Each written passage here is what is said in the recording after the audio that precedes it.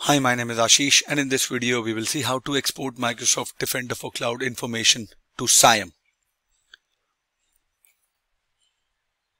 And as we all know, SIEM is Security Information Event Management. So in this video we will understand how to configure the continuous export for log Analytics Workspace, exporting security alerts, recommendations, secure score, and security findings. Moreover, we will learn how to enable the integration between Microsoft Defender for Cloud and Azure Sentinel. And we will also learn how to auto provision the Azure Policies guest configuration extension. Right, so let me just quickly log on to the portal and take it from there. I am logged on to the portal and I've deployed it again so I will check the configuration in the Microsoft Defender for Cloud under the management in the environment settings.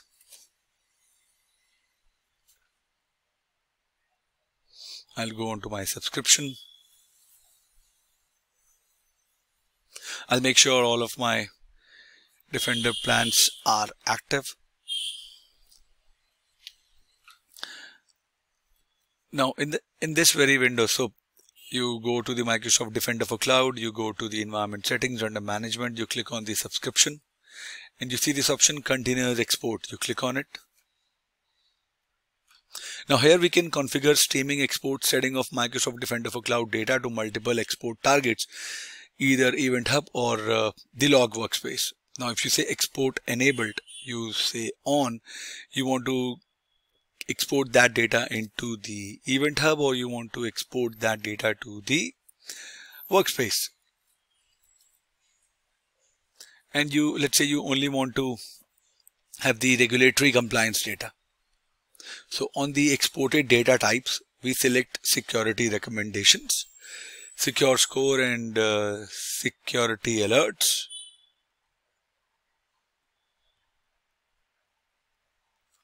right? And you can categorize it here as well and here as well in this option as well right?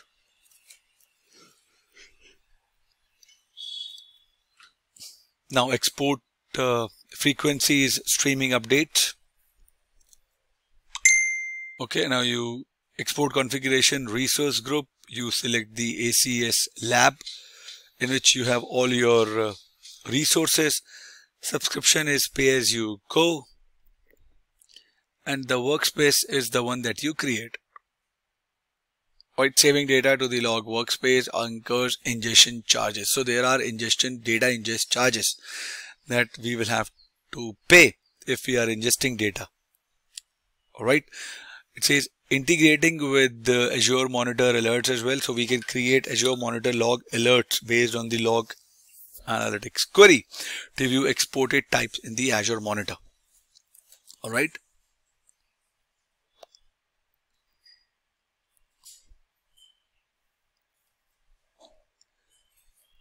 And then you click on save.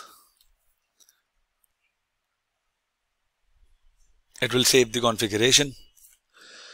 Now, if you go to the portal okay and you click on the log uh, workspace. Here.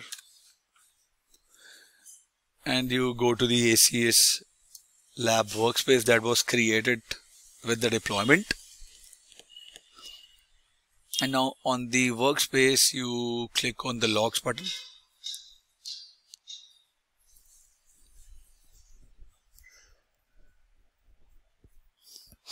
you cancel this option. And you also close the queries window. Now on from the left if you do it here you click on queries right? It was tabled it is queries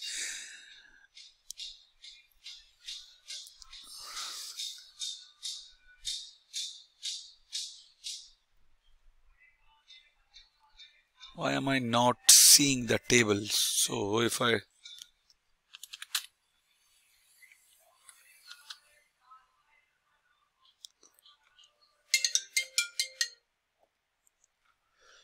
you cancel this option.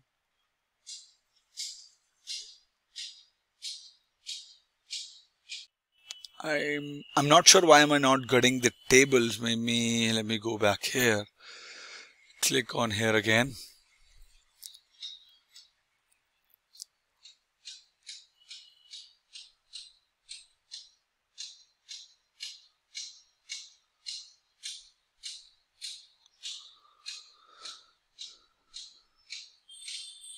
I am not getting the tables that I want to see.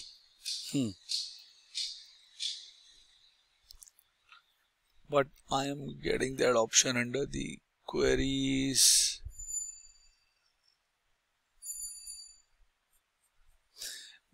The reason it is not enabled because I have just started the ingestion of data.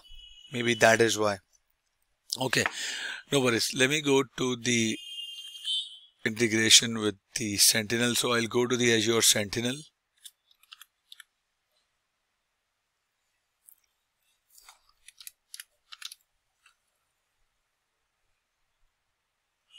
Or I'll type sentinel.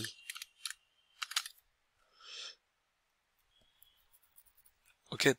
Create uh, on the Azure Sentinel workspaces click on create a workspace. So for this exercise, I will use the same workspace used by Microsoft Defender for Cloud. I'll do this. I'll select it, adding Microsoft Sentinel to workspace.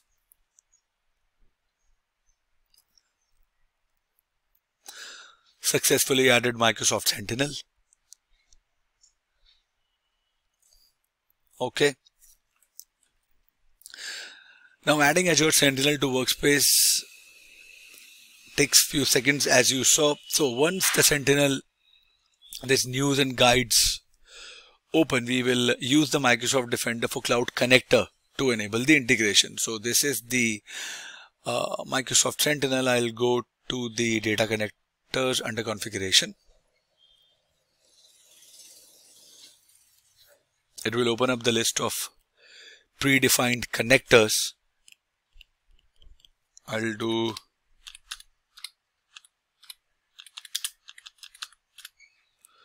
Microsoft Defender for Cloud.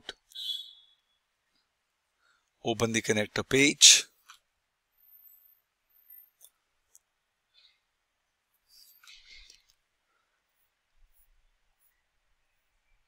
So read and write permission standard tier is no longer required. The connector is available for all deployments. That is good. This is the subscription. You set it to connected. I don't want bidirectional sync for now. So bidirectional sync is enabled. If you want the sentinel data to get to the Microsoft Defender and then you want Microsoft Defender also data to be integrated with Sentinel, you go with the bidirectional sync.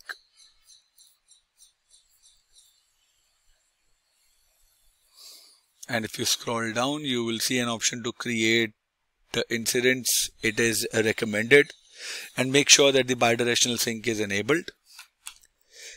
So there is a small explanation on Microsoft Defender for Cloud and Sentinel bidirection alerts. When you connect Microsoft Defender for Cloud to Azure Sentinel, the status of Microsoft Defender for Cloud alerts that gets ingested into Azure Sentinel is synchronized between the two services.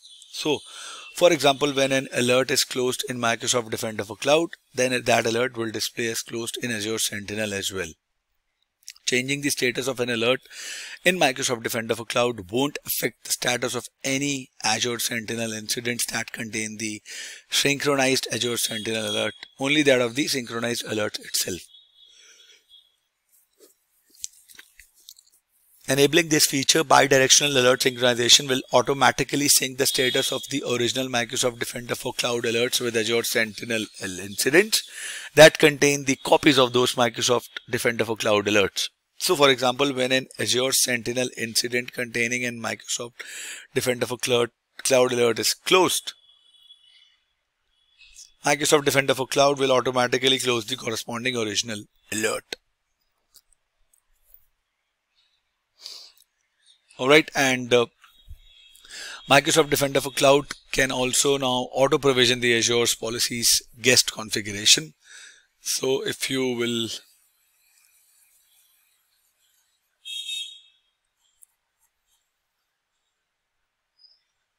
enable it.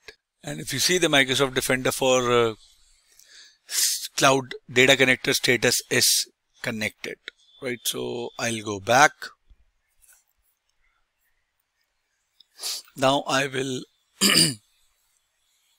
go to the Microsoft Defender for cloud.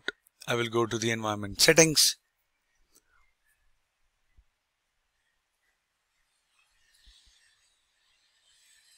I'll go for the subscription. You see this option auto provisioning?